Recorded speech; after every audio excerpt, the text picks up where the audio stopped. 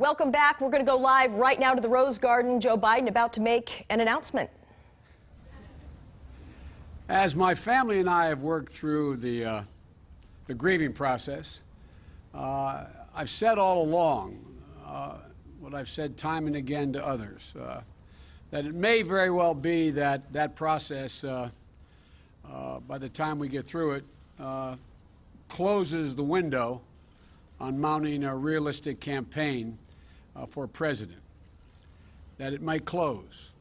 I've concluded it has closed. I know from previous experience that there is no timetable for this process.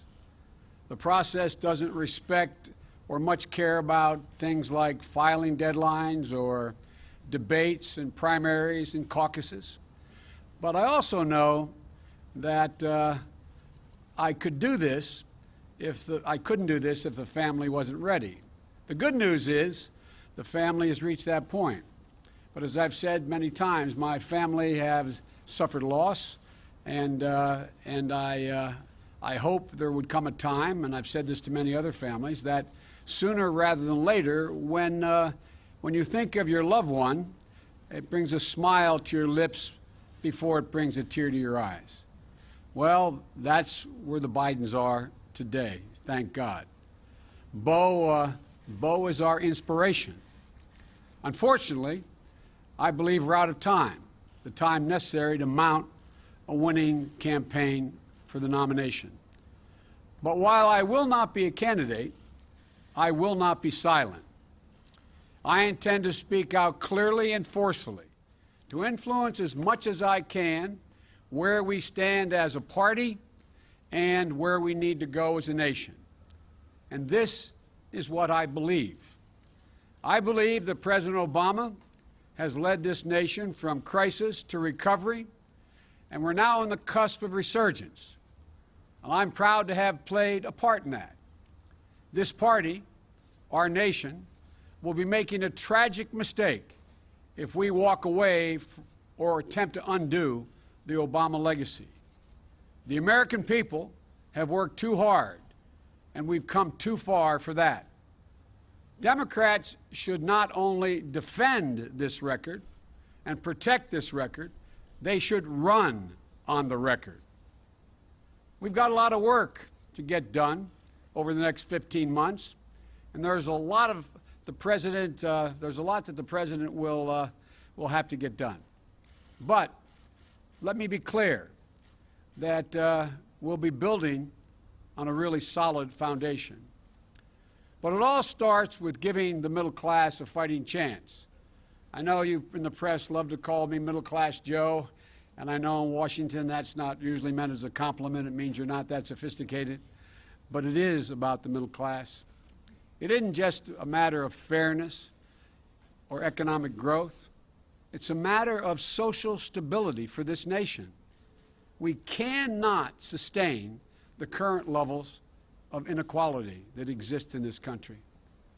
I believe the huge sums of unlimited and often secret money pouring into our politics is a fundamental threat to our democracy, and I really mean that. I think it's a fundamental threat because the middle class will never have a fighting chance in this country as long as just several hundred families, the wealthiest families, control the process. It's just that simple. And I believe we have to level the playing field for the American people. And that's going to take access to education and opportunity to work. We need to commit, we're fighting for 14 years, we need to commit to 16 years of free public education for all our children. We all know that 12 years of public education is not enough.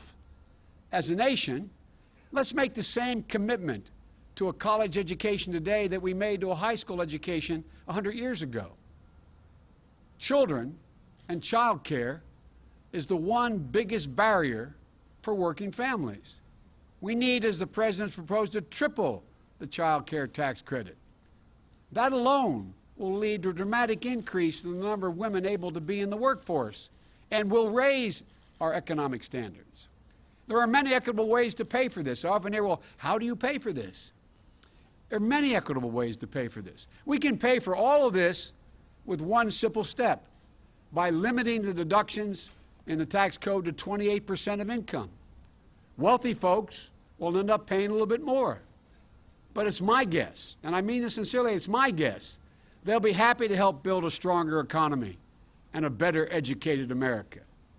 I believe we need to lead by, more by the power of our example, as the President has, than merely by the example of our power. We've learned some very hard lessons from more than a decade of large-scale, open-ended military invasions. We have to accept the fact that we can't solve all the world's problems. We can't solve many of them alone. The argument that we just have to do something when bad people do bad things isn't good enough.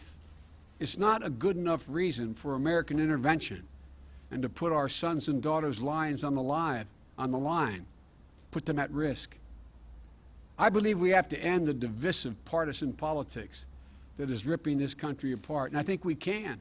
It's mean-spirited, it's petty, and it's gone on for much too long. I don't believe, like some do, that it's naive to talk to Republicans. I don't think we should look at Republicans as our enemies. They are our opposition. They're not our enemies. And for the sake of the country, we have to work together. As the President said many times, compromise is not a dirty word. But look at it this way, folks. How does this country function without consensus? How can we move forward without being able to arrive at consensus? Four more years of this kind of pitched battle may be more than this country can take. We have to change it.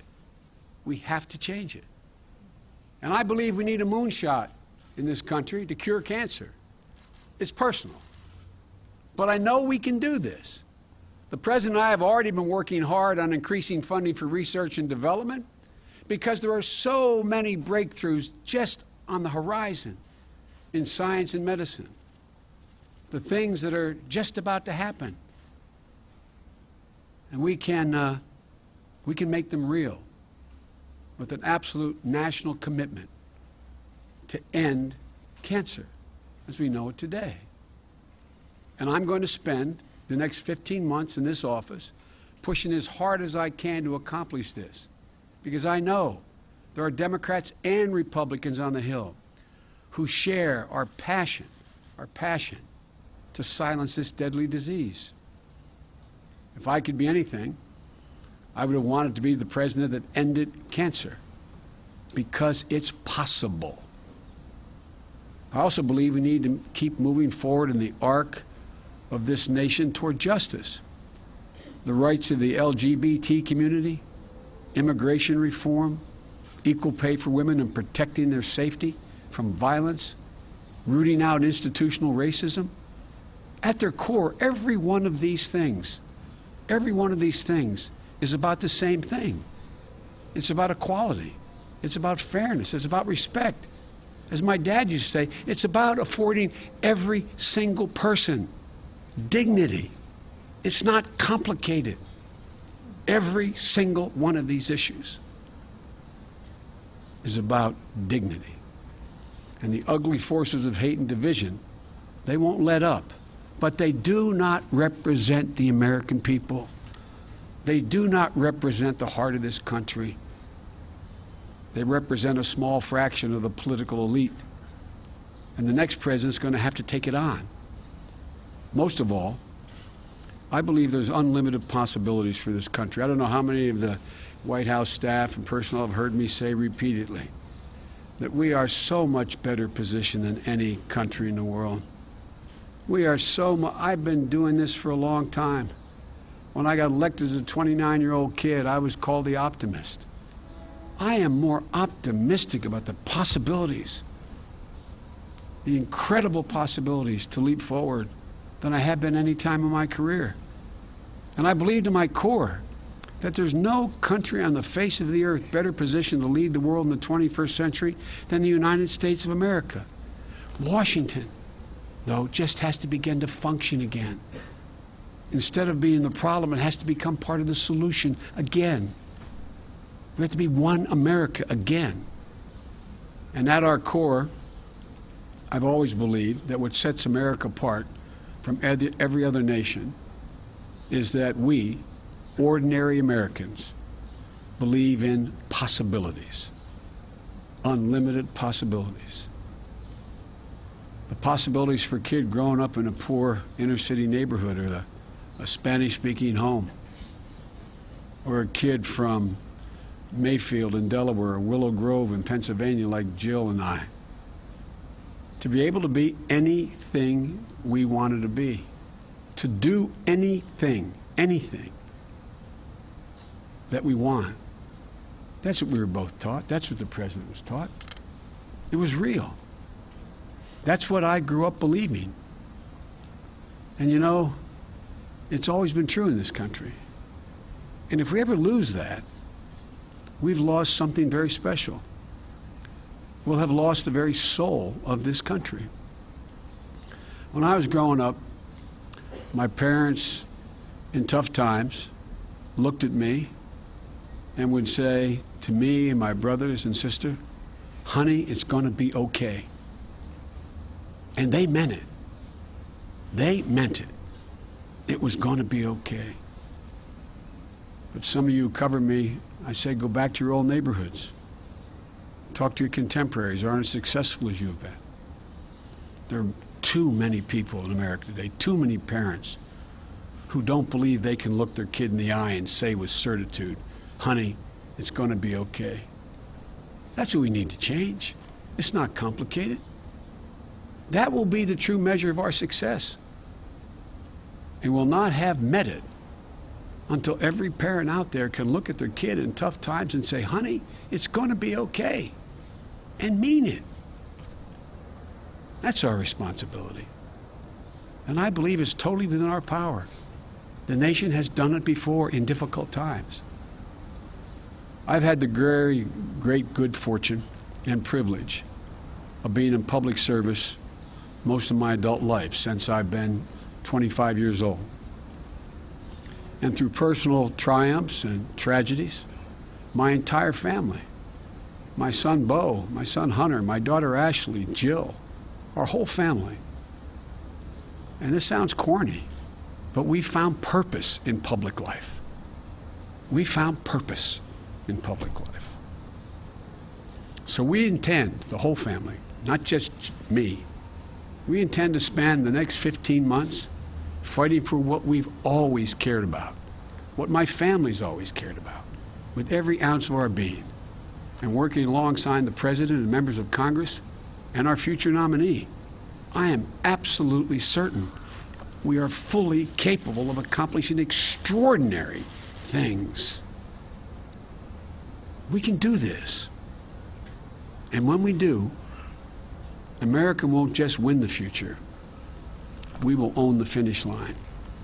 Thank you for all being so gracious to Jill and me for the last six or eight months and for our whole career for that matter.